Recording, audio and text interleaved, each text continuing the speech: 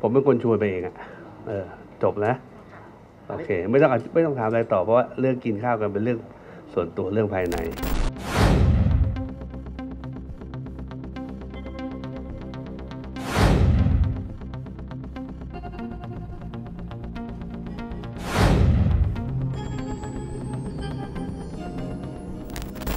กระแสข่าว ที่คุณทนายออกเอ่อเจาะลึกทั่วไทยก็ ผมก็ต้องรอฟังท่านพูดจนจบนะครับ ครับก็ผมก็ไปทานข้าวเย็นกับที่บ้านท่านนายกทักษิณซึ่งผมไปไปประจำอยู่แล้วนะครับ ก็แค่นั้นนะแสดงว่าไปไปเข้าไปจริงครับเพราะว่าในยูนั้นมีการกล่าวอ้างว่ามีคุณผมเป็นคนชวนไปเองอะเออ จบแล้ว โอเค ไม่ต้องไม่ต้องถามอะไรต่อเพราะว่าเรื่องกินข้าวกันเป็นเรื่องส่วนตัวเรื่องภายใน ไม่ได้ไปครั้งแรกเบิร์ d เดย์บอยเบิร์ d เดย์บอยโอเค จบถามเรื่องงานต่อ แสดงว่าเออไม่มีแล้วถามเรื่องงานต่อ วันนี้ทำอะไรบ้าง แสดงว่าความสัมพันธ์ของคุณเนวินกับคุณทักษิณนี่ชื่นมื่นกลับมาชื่นมื่นแล้วมันไม่ได้โกรธอะไรกันนี่ครับ ไอ้เรื่องที่บอกโกรธเรื่องคำว่ามันจบแล้วครับนายนี่ พวก ใครก็ไม่รู้เป็นคนพูด ผมอยู่มาตั้งสิบกว่าปี ผมยังไม่เคยได้ยินคำนี้ก็ใส่กันไป ยังไม่กล้าพูดเหรอถามจริง กล้าพูดเหรอถ้าคนที่เป็นเจ้านายเราเราบอกมันจบแล้วครับนายเนี่ยมันมันไม่มีหรอกครับ ก็พูดมาไม่รู้กี่ที มันก็ยังยังเอาเอาไอ้คำนี้ขึ้นมานะมันไม่มีอะไรหรอกครับก็คือบรรยากาศวันนั้นแฮปปี้เลยถ้าไม่ happy ผมก็ถ้าถ้ามั่นใจว่าคนที่ชวนคือผม อืม เรื่องตำแหอะน่งอะไรเอาไม่เอาไม่คุยเรื่องนี้คุยเรื่องแก้ไขรัฐธรรมนูญไหมครับท่านรองคุยได้ยังไงล่ะ คนแก้ไขคือพวกผมนี่นั่งอยู่ในคอรมอต้องคุยกับท่านนายกคุยกับอ่าสภาคุยกับอะไรพวกนี้ เพราะฉะนั้นคนไว้เป็นอาคนเป็นเป็นเป็นเป็นอาคนเป็นน้าคนก่อนแล้วก็จะจะเข้าใจความรู้สึกเองว่าเวลาเวลาคนเรียกเราอาเรียกน้าเนี่ย เรามีหน้าที่ต้องตอบสนองอะไรเขาบ้างแสดงว่ากระแสข่าวนี้ไม่มีไม่จริงเลยถูกไหมคะที่บอกว่าจะเป็นคนละครึ่งอะไรเงี้ยค่ะ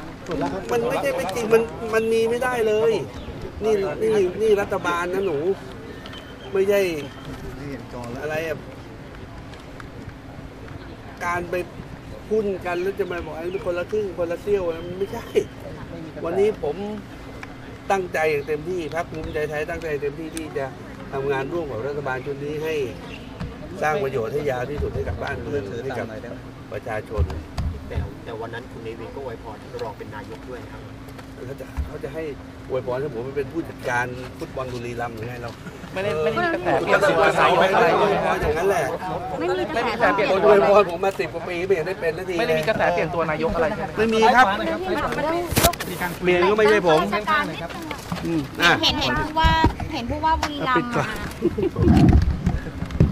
ก่อมานค่ะเรื่องแต่งตั้งข้าราชการทำไมนะ วันนี้ของกระทรวง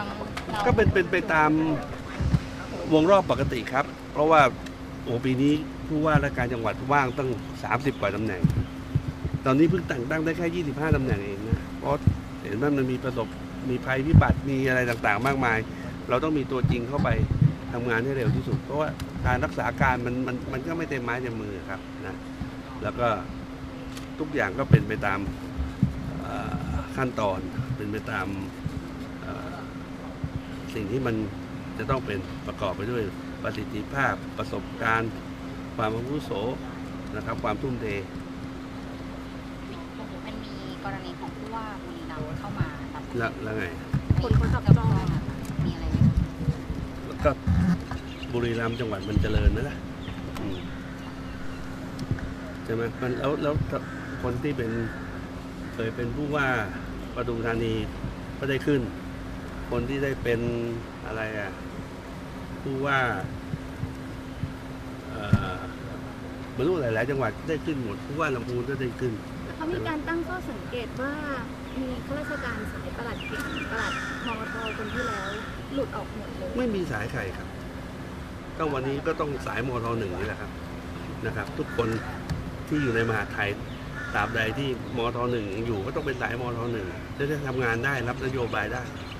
ไม่มีสายใครผมไม่เคยมองใครเป็นสายใคร